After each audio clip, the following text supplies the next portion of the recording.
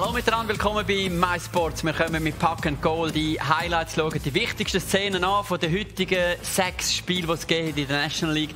Wir machen das zusammen mit dem Timo Helbling und mit dem Thomas Walzer. Und wir fangen gerade an mit der grössten Überraschung vom heutigen Abend. Im Jura da wird gefeiert. Ja, sie sind so selten die Sieg vom HC Aschua. Aber nach 19 Niederlagen in Serie kann der Julien Vauclair jubeln. Das bei seinem ersten Auftritt als neuer Coach der Jurassier. Und das ist der erste siebte Sieg in dieser Saison für Aschua.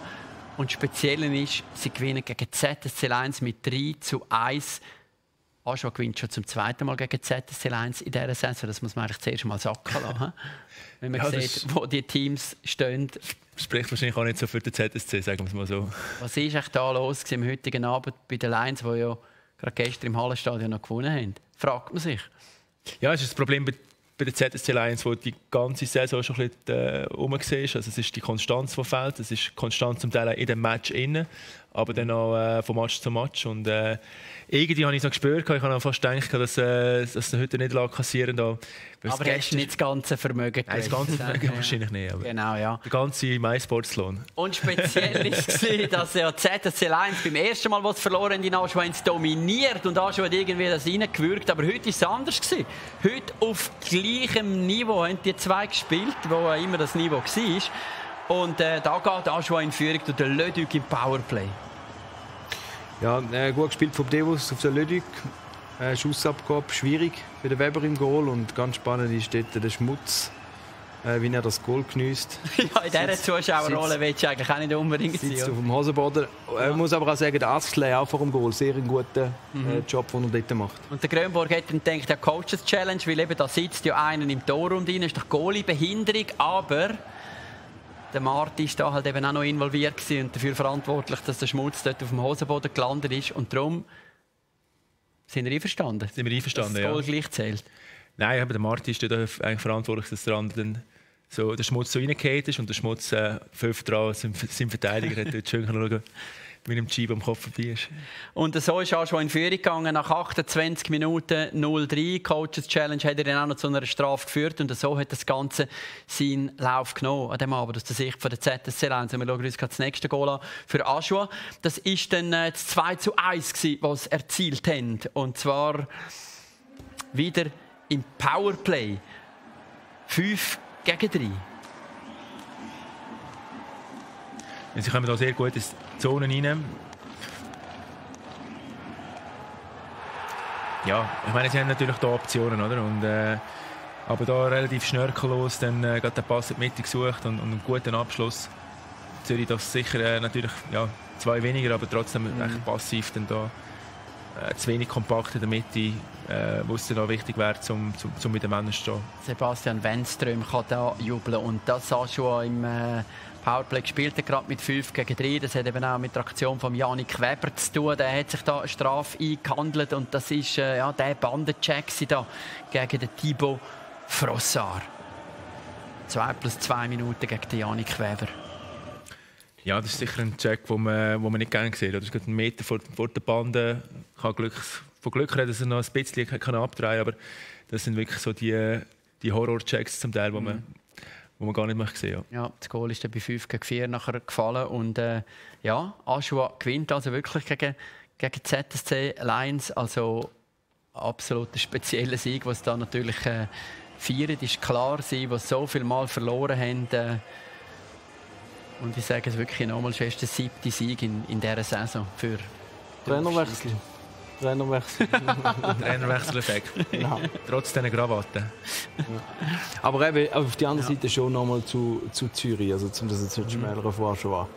Also ich weiß nicht, also wir weiß ja eigentlich als Sportler, wenn du nur, ein bisschen das Gefühl hast, ja heute gehen wir schnell äh, fast ab und Rot ist easy. Dann kann es manchmal anders rauskommen, aber es dürfte einfach Zürich schon. In diesem Zeitpunkt von der Saison ist ja das, was ihr auch immer wieder sagt, oder? Die Entscheidung, die eigentlich um die Ecke herum ist, mit, mit den Playoffs, die anstehen. Ja, wenn, wenn die Zürcher reden, dann sagen sie das auch. Oder? Meine, Gehring hat es im Interview gut gesagt, sie, sie wollen die Sieg, sie werden jetzt parat sein, die Playoffs kommen und äh, auch sie brauchen Sieg. Oder? Es ist äh, von dem her wirklich völlig unverständlich, dass jetzt wieder so eine Leistung können passieren Und auch gestern im Match, äh, wir haben es auch diskutiert, da hat es immer wieder Szenen gegeben, wo, wo man einfach muss sagen, es ist zu wenig gut, zu wenig ja. gut für das Talent, das die Mannschaft hat und, und die, die Möglichkeiten gibt eine lange Heimreise für ZSC 1 heute also aus dem Jura nach dieser Niederlage, die sie schon zum zweiten Mal erleben in Aschua. Der letzte hat heute Abend gewonnen und auch der zweitletzte gewinnt. Die SL Tigers, die schlagen Fribourg-Gotteron. Langnau, das ist doch die Mannschaft, die daheim eigentlich nie gewinnt. Das ist nämlich jetzt der vierte Sieg daheim in der Ilfishalle und so ist es losgegangen. Team Grossen Klaus, 13. Minute. Ja, sehr gut nach dem Bullieren, ähm, wenn er den Böck bekommt und dann eben auch wirklich äh, relativ viel Zeit hat. Ein satter Schuss und äh, ihm persönlich äh, mag ich es extrem gönnen. Er hat nicht immer die einfachste Zeit gehabt, sich da wirklich einen Standplatz können bei Langnau ergattern und sehr schön, wie er da abschließt. Und äh, der Olympiasieger, der Harry Pesonen, von dem haben wir es ja gestern auch noch gehabt, seine Rolle in der, in der finnischen Nationalmannschaft, wenn er sie dort spielt, heute in Langnau als Goalschütze. Ja, so wollen wir nicht können, oder? Er hat äh, schön, sehr schönes Zusammenspiel da.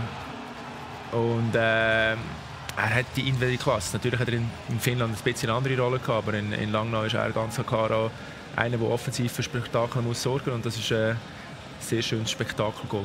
Mhm, nachdem Fribourg ausgeglichen hatte, also Langnau wieder in Führung mit dem Harry Besonen und dann ist äh, das nächste Goal gelungen. Und bei Langnau haben wir das häufig diskutiert. Ja, sie haben die Ausländer, die treffen, aber es braucht halt eben auch die Schweizer Spieler, die Goal schiessen. Und da kommt er heute, Keo Weibel, der schon Assist gegeben hat, der da sein Goal schießt zum 3-1. Super gut rausgespielt. Oder der, der Grenier, der noch so ein bisschen verzögert und die anderen zwei Flügel von ihm links und rechts äh, bewegen die Schlittschuhe sehr gut. Sieht da einen guten Pass äh, noch zum Diem. Mhm. Und der Weibel, wo gut... Schnell der, wegen Coaches Challenge noch schnell Freiburg hat da wegen Offside schauen und äh, ja, Nein, es ist einfach ein paar Mal gesehen, ja. die Coaches Challenge bei Offside, oder? Also ganz ehrlich, das, das kann ich also nicht nachvollziehen. Also nimm die Challenge, wenn es offensichtlich ist. Und das ist mehr so ja, ich sage jetzt heute Abend, der, der Dübe, ja, ich muss ihn noch schnell markieren, ich muss ihn nicht, dass es, dass es genau ist. Aber also ich finde das ein Witz. Ganz ehrlich. Wobei der Trainer, wir sagen immer, der Trainer nimmt sie, aber er kriegt ja die Anweisung von jemandem von oben. Ja, gut, aber jetzt, in dem Moment ist ja der Trainer gleichzeitig auch der Sportchef. Also der gilt jetzt, der gilt jetzt bei Freiburg nicht. Ja, mit der gleichen die, die nächste, Der nächste direkte Vorgesetzte wäre der John Gobi und der ist es sicher nicht Also er ist beides in einem und der Gerd Zehnhäuser ja. wird es auch nicht sein. Also er hat das entschieden. Ich finde es einfach völlig unnötig. okay. Eben, aber das heisst, äh, es zeigt jetzt wirklich, in dieser Woche ist es offensichtlich mit diesen Offside-Geschichten, es muss so glasklar sein, dass es sich lohnt, das zu nehmen, sonst stürzt der Entscheid nie um, weil man es einfach zu wenig gut sieht. Oder? Zu dem Schluss kann man definitiv kommen. Ja, der Keo Weibel, also schießt das Goal und äh, den werden wir jetzt gerade hören im Interview bei Michael Krein. Keo Weibel nach 14 Niederlagen. Heute der erste Sieg unter dem Trainer Yves Saro äh, und das gegen Leader. Habt ihr das schon realisiert? Ja, es ist äh, einfach eine riesige Erleichterung für uns. Oder? Es ist, äh, es war jetzt wirklich nachher und nicht nur für Yves, sondern auch für uns, für die Mannschaft und für die ganze Umgebung ist es extrem wichtig. Ihr selber seid Best Player geworden, habt das Game Winning Goal geschossen, das dritte Goal, sehr umstritten. Habt ihr das ein bisschen mitbekommen, wie knapp das war? Ja, äh, auf dem Video hat man es nicht wirklich gesehen. Der äh, Gröni hat irgendwie die Schaufel vor dran gehabt. Aber äh, eben, sie sehen, die den Play gemacht haben, ich eigentlich nur noch das leere Goal einschieben. Also geht äh, das Goal eigentlich äh, auf ihre Kappe, nicht auf meine. Merci vielmals. Ja, was haben ihr am 7. Dezember gemacht? Das ist schwierig schon Weil her, oder? Einfach nur zum sagen, Langnau hat dort das letzte Mal gewonnen. Und heute haben sie es wieder geschafft gegen Fribourg-Gotteron. Ja. Schön, oder? Beide Mannschaften jetzt da endlich mal einen Sieg können holen mhm. Ah, schon auch noch, die haben im November das letzte Mal gewonnen. Aber was müssen wir jetzt über Freiburg sagen? Das gleiche wie über ZSC 1 heute Abend. Ja, endlich ja. Ich glaube, ähm, wobei ich muss sagen, Freiburg hat die Saison nie wirklich äh, so eine Flaute gehabt. Die haben, äh, meiner Meinung nach wirklich eine sehr, sehr gute Saison gespielt, sehr konstant auf höherem Level und ich finde auch, das ist eigentlich das, was mich am meisten über, also nicht überrascht, aber das ist das Positivste bei Freiburg, dass sie wirklich mhm. die Konstanz eigentlich jetzt immer hatten. Jetzt äh, einen Ausrutscher äh, kann man so abhökeln, würde ich sagen. Die haben gestern eine Show gezeigt, im eigenen Stadion auch genau, natürlich. Ja. Oder? Und in Zürich ist es eher immer so ein bisschen Up und Down. Mhm. Da haben wir schon ein bisschen einen Unterschied. Ja, ich bin, ich bin wahnsinnig gespannt. Also wir werden den äh, Zug noch sehen, aber wahrscheinlich Freiburg hat sich ja schon auf die Fahne gesetzt, sie wollen unbedingt die Qualifikation gewinnen. Und wenn mhm. das so ist, dann darfst du einfach heute ähm, den Match nicht verlieren. Und was noch spannend ist, heute ist der Raffi Diaz nicht dabei gewesen, ist geschont worden. Der Bera, Bera, ist, Bera ist auch nicht im Goal gewesen. Mhm. Also, das Message ist auch so ein bisschen heute. Genau, Message. Ja. Wir nehmen es eher ein bisschen auf die leichte Schulter, wie auch immer. Ähm, ja. Ist nicht aufgegangen, ja. Inspektor Dübe. Genau. also, gehen wir zum nächsten Spiel. Lausanne gegen Trapperswil Jona Lakers. Roman Cervenka, die grosse Figur. Und da kriegt er einen super Pass schön hinten rausgespielt. Vom Jelovac und vom Albrecht. Und wenn er so kommt, dann macht er sie. Ja, das ist bei ihm wirklich so. Also, er hat einfach den, mehr so einen Trick äh, auf Lager, aber sehr schön angespielt vom, vom Albrecht. Und was bei ihm einfach äh, genial ist, man sieht es da gut, er hat immer den Kopf da oben, extrem schwierig für den Goalie. Wenn da gerade so gut vorhand schiessen, aber eben da nimmt er auf die Becken und Stefan ist chancenlos. Und wir kommen gerade zum 2-0, 9. Minute. Andrew Rowe, Marco Lehmann, der den Pass gibt. Auch da äh, super Pass, eher ein bisschen glücklich von Meckenberger in die Zone. Lehmann natürlich sehr ein schneller Läufer. Er hat nachher ein 2-1 und der Rowe macht Druck aufs Goal, schiebt den über. Äh, für Rappi natürlich auch der Zeitpunkt extrem wichtig war, dass sie da können mit 0-2 Führung gehen ja, 2-0 auch der Stand nach dem, nach dem ersten Drittel. Und dann kommt die 25. Minute und die Szene von Lausanne. Erstes Goal, super Pass von Jason Fuchs, der findet den Irgi Sekac, auch der macht sie ganz trocken. Coaches Challenge, Rapperswil und Lakers. Wer nimmt sie dort? Der Janik Steinmann, der Sportchef, der sagt, Moment, Offside, der Sekac hat den Böck nie unter Kontrolle, er fährt rückwärts über die blaue Linie. Thomas?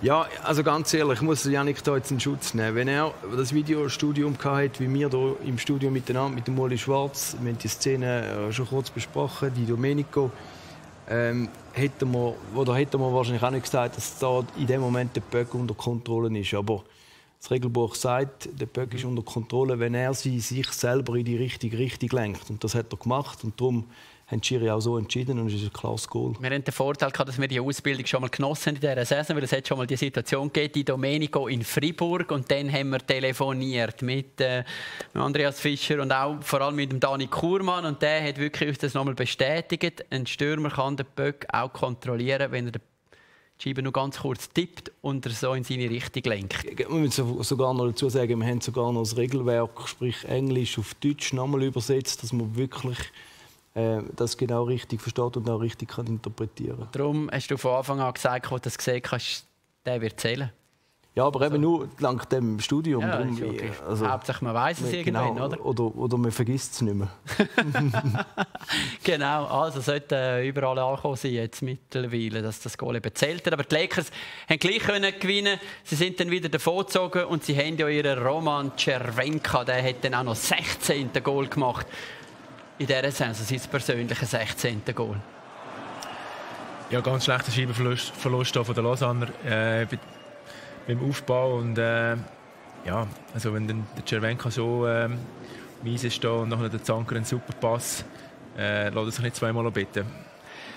Grundsätzlich muss man sagen, äh, Rapid sehr frisch gewirkt, mhm. sehr schnell umgeschaltet, sehr, äh, ja, man kann gut mit, mit, mit den Scheiben umgegangen und, und Lausanne auf der anderen Seite ein bisschen müde. Vierte Match äh, in dieser Woche haben wir schon den Unterschied gemerkt. Eine strenge Woche gehabt, Lausanne, und von diesen vier Matches immerhin auch zwei können gewinnen. So ist das ein bisschen hin und her gegangen. Für Lausanne schauen wir dann, was sie in der Tabelle für Auswirkungen hat. Aber jetzt gehen wir zuerst in ein anderes Stadion und dort ist es hoch zu und her gegangen. Ganz ein wichtiger Match. Genf, wo natürlich noch den Playoff-Platz will holen, der direkte und der SC Bern, der den Pre-Playoff-Platz will verteidigen und da sind ja, und auch ein bisschen die geraten.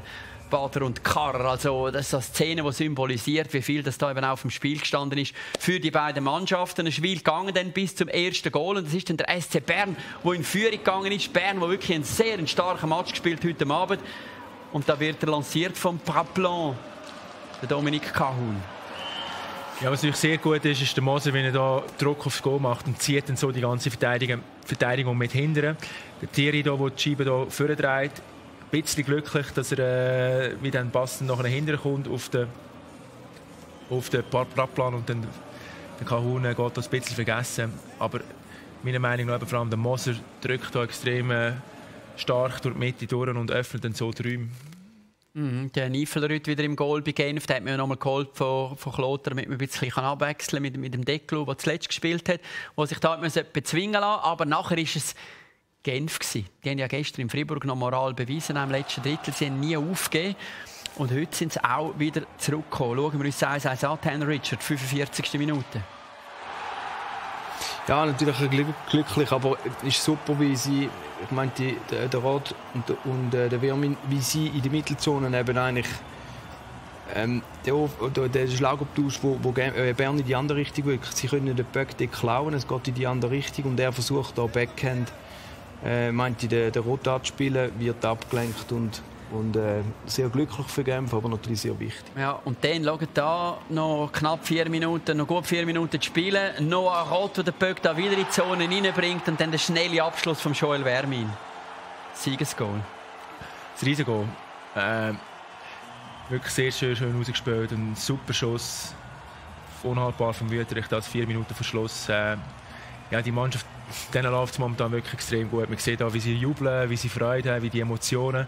Man spürt es auch im Stadion, oder? man hört es bis dahin. Äh, da ist wirklich etwas Spezielles am, äh, am Gehen.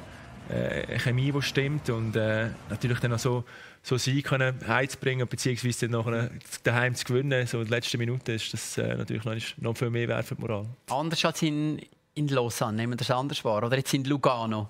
Die drei Teams, die in der Tabelle dort ähnlich unterwegs sind. Aber ich würde schon sagen, immer ja. wieder die Genfer raus. Ja. ja. Also die Genfer gefallen mir schon sehr gut. Und jetzt auch die Entwicklung, die sie gemacht haben, wo es Anfang gesehen so ist, ist gar nicht gelaufen. Oder? Sie sind ja lang letzt, zweitletzt gesehen.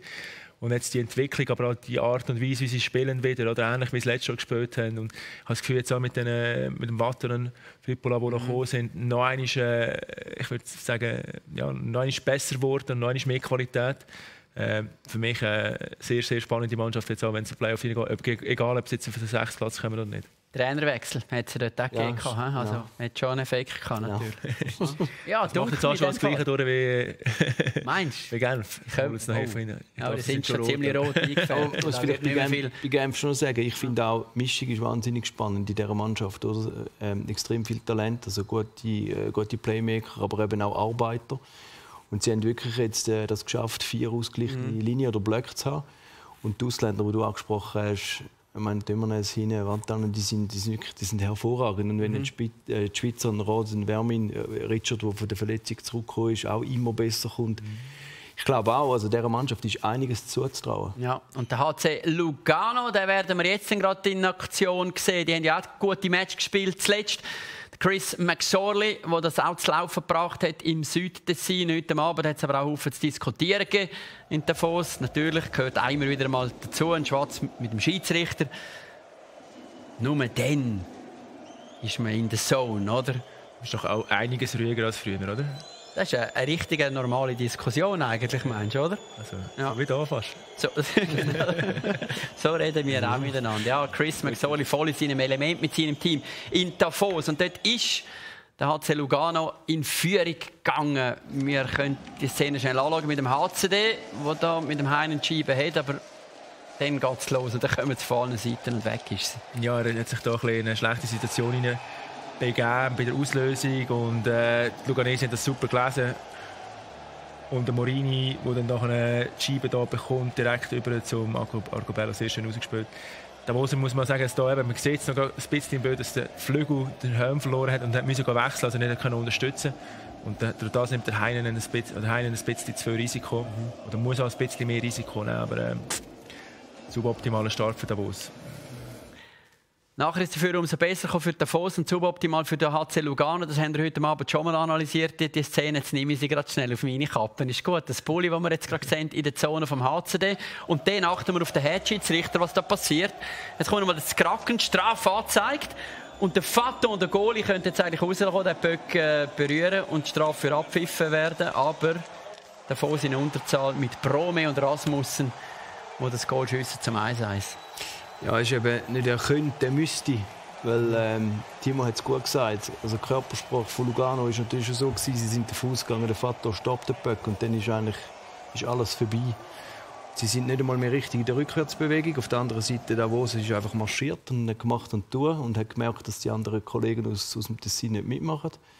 Und schon ist es passiert. Und Christian Wohl, wenn er gesagt ja, wir müssen irgendwie die Goal schiessen und gut, wenn man natürlich so eins kriegt, weil es auch sofort eben gerade auch Energie gegeben in diesem Team. Und dann haben die Foser aber auch so gespielt, wie das der Trainer von ihnen verlangt hat. Er hat gesagt, mehr schiessen, Leute aufs Goal und den Böck irgendwie reinbringen. Und so passiert das 2 zu 1. Das ist für mich ein typisches Goal, wo sie sich wirklich erkämpft haben. Oder der Schmutz ähm, hat nicht aufgegeben, ist bei dem Böck geblieben. Der Böck ist ums Goal herumgekommen, aber die Verteidiger haben versucht, Druck zu machen. Also es ist nicht gerade so mit den Brechstangen, aber man hat das Goal unbedingt wollen. Ähm, und man hat auch gewusst, der Nygren kommt den Böck über, versucht ihn aufs Goal zu bringen. Er bringt ihn auch meistens aufs Goal. Da sind sehr gut positioniert, Brassel äh, und der Schmutz. Und der Brassel kann erben von dem Rebound. Also äh, wirklich sehr, sehr leidenschaftlich mhm. erkämpft. Es war ein enges Spiel, spannend, immer ein Goal, Differenz. So ist es auch ins dritte Drittel gegangen. Und dann Lugano wieder im Powerplay mit der Möglichkeit zum Ausgleich. Die Scheibe geht verloren. Achtung, Gegenstoß. Achtung, André Sambühl. Tag, bumm. Aber auch da, oder wieder an der, an der Bande, der Basel gewinnt das 1-1-Duell hat den Böck, sieht, der Ambühl kommt durch, durch die Mittelzone mit relativ viel Speed, da sieht man es gut, er setzt sich durch, eigentlich zweimal. Und da dann einfach der... Da müssen wir schon noch diskutieren, der Schlepper, oder? Dass er schleppt, ja. ja. Wieso? Ja, also... schon, ist, äh, hat man jetzt nicht erwartet von ihm, oder? Ich meine, er hat äh, sehr viele technische Fähigkeiten und äh, ich finde es lustig, ich finde es mega spannend, dass er jetzt so da ist. Aber wenn die irgendwie vielleicht nicht mehr funktioniert oder das Selbstvertrauen nicht mehr so da ist, er hat ja auch Penalty geschossen ja, ja. bei den Olympischen ja. Spielen, wo er mit Triple probiert hat, dann denkst du irgendwann, ja, das ja, aber, aber vielleicht hat man gesagt, man muss schießen, oder? Dann ja. denke ich, wenn ich dann schieße, wenn schon, dann schieße ich richtig. Hat er es bei jedem Goalie gemacht? I don't know, vielleicht hat er das noch. Nein, aber ich glaube schon, das Go und das Go vorne, das zeigt schon ein bisschen, so ein bisschen die, die Einstellung, die der HC Davos mhm. hatte und da unbedingt die Wille und dass man die Go jetzt unbedingt macht. Ich glaube, sie haben nicht schlecht gespielt die letzten paar Matches, sind defensiv gut gestanden, aber haben einfach offensiv zu wenig Produktion. Ja. Und da hat man einfach gesagt, egal was ist, heute, heute schießen wir die Go. Zweiter Shorthander von André Samböhl in dieser Saison. Ich bin gar nicht sicher, haben wir ein Intro mit ihm? Ja, dann hören wir doch das an mit dem Adrian Schmid. Wir haben eins. Andres Ambühl, der Trainer hat vor dem Match mehr Schuss, mehr Goal, mehr Offensivkraft gefordert. Kann er zufrieden sein? Ja, wir haben gewonnen. Ich glaube, wir haben viele Chancen gehabt. Dort können wir sicher noch daran arbeiten. Aber ich glaube, wir haben jetzt gewonnen. Das ist das, was wir äh, haben wollen. Zwei Shorthander haben diesen Sieg ermöglicht. Das sehen wir nicht alle Abend. Nein, das sicher nicht. Aber ähm, ja, das gibt es ab und zu. Und wir sind froh, dass es so ist. Ja. Gibt das jetzt so ein bisschen Ruhe nach dem ersten Sieg, nach der Olympiapause? Es tut sicher gut und äh, ich glaube, wir haben schon vorher Ruhe gehabt, aber es ist wichtig, dass wir äh, wieder ein Match gewinnen. Darum ist, sind wir extrem froh, dass wir heute äh, können den Sieg holen können. Danke vielmals. Ja, wirkt wirklich sehr ruhig alles. Also wenn alle so ruhig sind wie er, dann ist ja alles Paletti. Das ist so, ja. Nein, aber er, er hat es auch gut gesagt. Es ist nicht so, dass jetzt irgendwie Panik gewesen wäre oder dass jetzt gar nicht mehr geklappt hätte, sondern sie haben einfach mal einen Sieg gebraucht, haben zweimal verloren die Woche. Mhm. Natürlich, wenn sie jetzt heute wieder verloren hätten, dann wäre es vielleicht ein bisschen anders gewesen.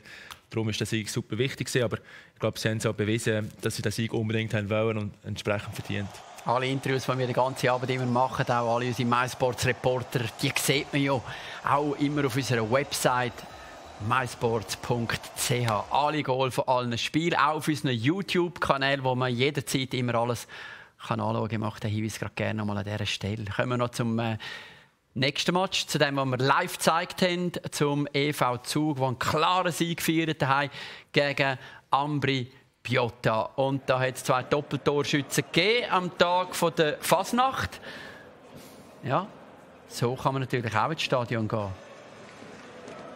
zum schauen, wie Janik Zehnder die ersten zwei Goal schießt für Zentralschweizer. Zuerst im Powerplay. Genau, also sehr guter Center, der Druck macht. Und da sieht man gut Böcker nachher zum äh, Marco Müller auf die blaue Linie. Hat praktisch keine andere Möglichkeit mehr, außer auf der Handzone. Aber auch er äh, wird das gehört haben, dass der Trainer gesagt hat, er müsste den Böck aufs Goal bringen, den Zehner im richtigen Moment kann ihn dippen und äh, schon hat es 1-0 geheißen. Janik Zehnder, der Goal Nummer 3 und 4 geschossen hat, nicht in dieser Saison, in dieser Woche, hat gerade einen ziemlichen Lauf. Wenn wir uns 2-0 anschauen, Timo. Ja, ähnlich wieder. schön, ähm, schön abgelenkt vor dem Goal. Er ist aber am richtigen Ort. Ich das Gefühl, es ist eine Wiederholung, eine Wiederholung vom anderen. Ähnlich, oder? Ja. Aber ähm, sie funktionieren auch sehr gut, die Linie. Äh, mit, mit dem Center, mhm. mit dem Klingberg. Äh, ganz, ganz ein starker Match. Aber auch schon die ganze Saison, äh, sie sind aktiv, sie sind vom Vorcheck, äh, sie sind physisch parat. Äh, mhm. äh, ganz, ganz tolle Linie. Ja. Ambri hat probiert mit seinen Möglichkeiten und sie sind ja angekommen. Der Anschlusstreffer ist nicht glückt. Zuger haben da aber gerade ein bisschen das Kommunikationsproblem in ihrer Abwehr und darum ist der Macmillan so frei in der 32. Minute. Ja, das hat die, die Zuordnung hat nicht gestimmt, wobei äh, ist mir ehrlich gesagt gar nicht aufgefallen bis jetzt in der Pause. Aber wenn man da genau anschaut, hat äh, der Centerler noch den Stock wechseln mit dem Verteidiger. Anyway, es hat einfach nicht gestimmt. Es hat eine syntaktische Störung in der Verteidigung. Und äh, auf der anderen Seite aber sicher der Fischer, Janik, wo sie dort nicht erwartet Der ist haben. eingereist von der Einzucker eigentlich dort genau. vor dem Goal. Ja. Und, äh, ja, aber äh, also, eigentlich nicht so, wie Zug normal spielt. Aber beim EVZ hat man gemerkt, ja, auch ihnen passieren diese Sachen, aber sie können sie in der Regel gleich wieder korrigieren. Und äh, da haben sie eigentlich den Deckel drauf gemacht mit dem Goal. Eine Sekunde vor dem Ende des zweiten Drittel im Powerplay mit Fabrice Herzog. Das Powerplay war extrem gut heute. Und sie haben ähm, auch Spieler wie Klingberg, Herzog, die dort die Scheibe vor das Goal bringen, die die Präsenz hatten. Sie haben gute Schüsse gehabt. Und ähm, sicher ein grosser Unterschied gesehen, äh, Special Teams heute, ja. Und eine Szene, die hat noch viel zu diskutieren gegeben, die wollen wir wirklich noch mal in aller Ausführlichkeit besprechen. Ein richtiger Domino-Effekt. Mehrere Zweikämpfe haben es gegeben und am Schluss eben die Verletzung von Jerome Bachhoffner. Da geht es schon los und da jetzt die Fortsetzung. Und es ist vor allem der Check, der zuerst ins Auge sticht. Jetzt der Vorler. Und eben, ihr habt gesagt, es ist kein Check, es Stoßen gegen den Bachhoffner. Und vor allem jetzt erst, wo der Vorler auf ihn draufgeht, verletzt er sich und spickt den Helm weg. Und da haben die auch andere Spieler mitgeholfen. Wir sehen es da nochmal, es kommt daheim gegen den Leuenberger, der Leuenberger gegen den Vorler. Es ist eine sehr hässige, hässige Sequenz gewesen, vorher schon, oder, am Anfang schon. Ich glaube, einfach wichtig ist, dass man Vorler äh, sich kein Unschuldslamm und dort auch seinen, seinen Part äh, beiträgt, aber die Verletzung, die sich der, der Bachhofer schlussendlich zugezogen hat, ist jetzt nicht direkt im Vorler sein Fehler in dem Sinn, sondern er ist auch gecheckt worden und dann erst nachher auf ihn aufgefallen und der erste Check oder das Stoßen mhm ist unserer Meinung oder meiner Meinung nach nicht so schlimm gesehen. Obwohl der Bachhoffner sagt, dass er gleich noch mal mit dem Gesicht gegen die Banden ist, der Vorler sieht nur die Rückennummer, er müsste auch nichts machen. Oder? Ja, aber nachdem das aus dem Ecken raus passiert, also nochmal sind verschiedene Umstände gewesen, oder? Mhm. nachdem was passiert ist, bin ich hundertprozentig sicher, der Bachhoffner hat gewusst, dass der Vorne hinten dran ist und dann ist es wirklich nicht ein Check, er schiebt ihn. Mhm. Und nachher geht, er geht, geht darum, klar ist die Zeit wahrscheinlich relativ kurz, mhm. aber der Helm verliert oder die Verletzung hat er effektiv beim Impact. Äh, das erachten ihr jetzt nicht als schwierig, er bleibt aber da schon liegen, oder? Jetzt kommt genau. der Heim, der da recht hässlich ist und dann geht der Vorler noch auf den Bachhofer und das ist dann schon eine schlimme Szene gesehen, weil der Bachhofer hat sich dort auch verletzt im Gesicht. Und, mit dem äh, hat er sicher nicht mehr gerechnet. Nein, mit dem hat er nicht gerechnet, ja, aber der Umstand ist eben effektiv so gewesen, der Leuenberger checkt den Heim voran. Ja. Der ist auch am Boden und rächt sich beim Leuenberger von hinten, der Leuenberger wieder beim nächsten. Mhm. Und, äh, also beim Faller und der Faller fliegt nachher sehr doof natürlich noch auf den Kopf oder auf Ich muss gleich noch mal fragen, und wer muss jetzt auf die Strafbank? Immer noch alle, ja. Immer noch alle, ja. Gut. Also, alle sind schuld. Alle sind schuld. Janik Zehner, wenn wir ihn hören, er hat zwei Goal geschossen heute Abend und hat einen riesen Lauf im Moment. Er ist beim Thomas Rottmeier. Janik Zehner hat drei verschiedene Herausforderungen in dieser Woche, alle angenommen und gewonnen. Wo sehen die Gründe für die perfekte Woche von mir zu? Ich glaube, perfekt war es immer noch nicht, punktemässig schon. Aber äh, ich denke, das erste Spiel von uns diese Woche war am besten. Dort haben wir äh, defensiv mit Abstand am besten geschafft. Äh, ich glaube, heute war auch nicht schlecht. Gewesen. In Lugano sind wir nicht so zufrieden. Aber ich glaube vor allem, weil wir äh, uns darauf fokussieren, dass wir defensiv äh, zuerst schauen und dann äh, uns sagen, ja, die Chancen kommen dann schon noch offensiv. Ich glaube, das ist eigentlich der Mindset, den wir brauchen und jetzt zum Erfolg äh, verholfen hat. Viel Goal heute, aber auch ein bisschen äh, überschattet, äh, auch noch mit ein paar doch unschönen Aktionen. Wie haben Sie den Match äh, heute gesehen, von den Emotionen her? Wie schwer ist das? Ja, es ist, äh, es ist immer sehr emotional äh, gegen Ambri. Ähm, ja, wir wissen, es, gibt immer harte Kämpfe, es gibt immer äh, gefährliche Battles auch ein bisschen ab und zu, aber äh, ja, wir dürfen uns von dem nicht aus der Ruhe bringen lassen.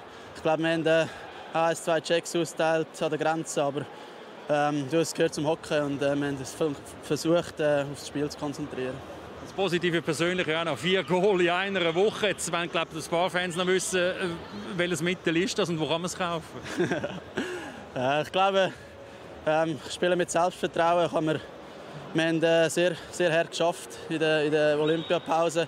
Äh, es funktioniert mit meinen Linienkollegen und dann stehst du ab und zu noch am richtigen Ort und dann passiert so etwas. Gehen wir mal in die Apotheke und fragen nach Selbstvertrauen, ja. ob wir irgendwas im Gestell rausnehmen können. Also drei Punkte heute gegen Gambri, drei Punkte haben sie aber schon geholt Anfang Woche im Hallenstadion und auch in Lugano die perfekte Woche für den EV Zug. Schauen wir uns die sechs Spiele an vom heutigen Abend mit diesen zwei grossen Überraschungen, mit dem Sieg daheim für Aschua und für die SCL Tigers. Enorm wichtige Punkte für den HCD.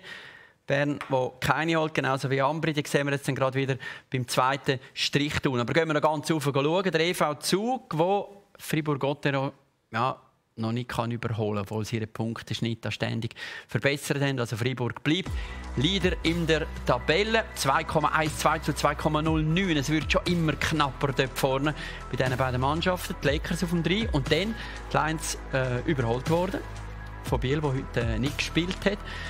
Genf und äh, Davos. Das bleibt äh, eng. Man sieht, die haben beide 45 Spiele und vier Punkte ist da Differenz, aber natürlich zählt da Punkte pro Spiel. Lausanne, der dort äh, mitmischt und dann Ambri und Bern, da ist alles noch gleich geblieben. Im Moment immer noch das Polster für den SCB. Das war sie, die Runde vom 26. Februar. Aber wir haben auch noch etwas zu besprechen. Die Olympischen Spiele die haben ja stattgefunden auf NHL-Eisfeldern, auf den NHL-Dimensionen. Und äh, ja, da kann man wunderbar darüber diskutieren, über die Größe der Eisfelder, was jetzt besser und was schlechter ist. Und das machen wir. Wir haben etwas Trinkapparat im Kühlschrank, das werden wir jetzt gerade öffnen. Danke, dass ihr dabei gewesen bei Pack Goal. Die Highlights, ich hoffe, wir sehen uns und hören uns jetzt gerade im Backcheck der Tag. Bis dann.